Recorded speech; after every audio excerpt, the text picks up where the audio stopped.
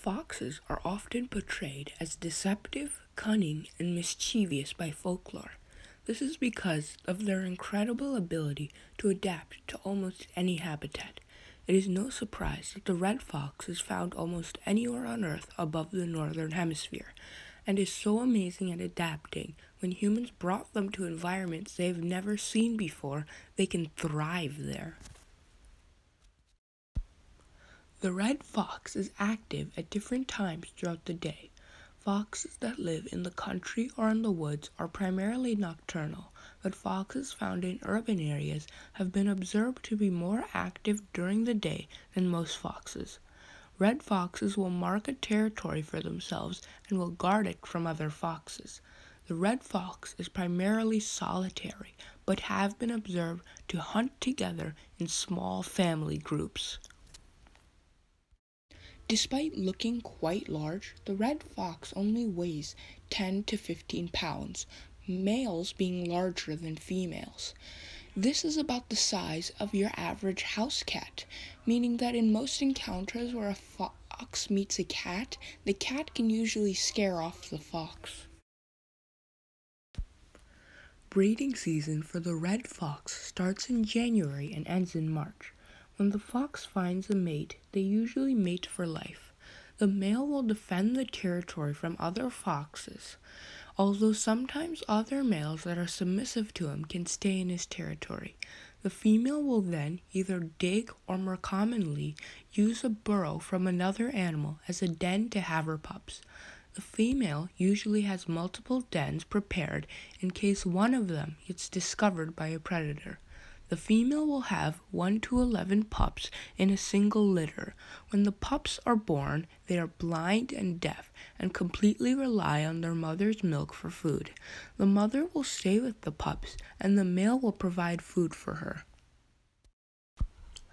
After about a month, the pups will come out of the den to explore. They will start trying solid food and will eat regurgitated meat that their parents bring although they are not fully weaned until they are 12 weeks old. At this point, the parents will start bringing back prey that is still alive. The pups will play with the prey. This is important in building the confidence and practice for the pups to kill their own prey. They will also come with their parents on foraging trips.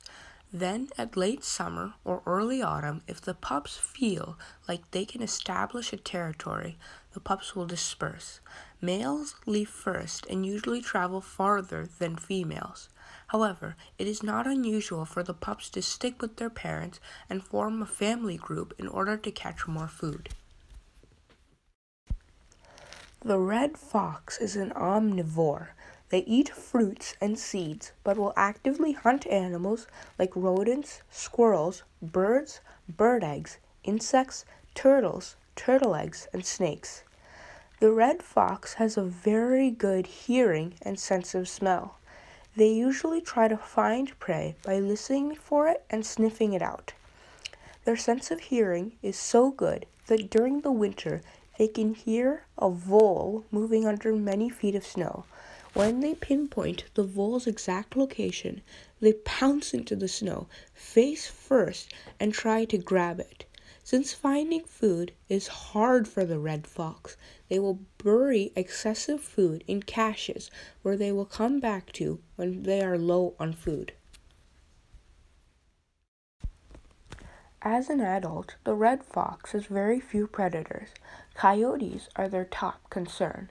Coyotes do not tolerate the red fox and will drive them off or kill any foxes that are in their territory. They see the foxes as competition for food. Since the coyotes are much bigger than the red fox, they can easily kill them. As pups, they are preyed upon by birds of prey and coyotes. The only main defense of the red fox is to run away or try to avoid coyotes altogether. In 1855, the European colonists brought the red fox to Australia. They set the foxes free and plan to use them for recreational hunting. The red fox thrived there and established itself as a population. This is not a good thing, since they aren't native to Australia. They very easily eat many of the native small rodents and birds there.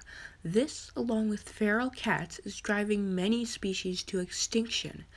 The Australian government has been trying to contain the problem, but to little success, as even with excessive hunting, where they are native, the population has thrived.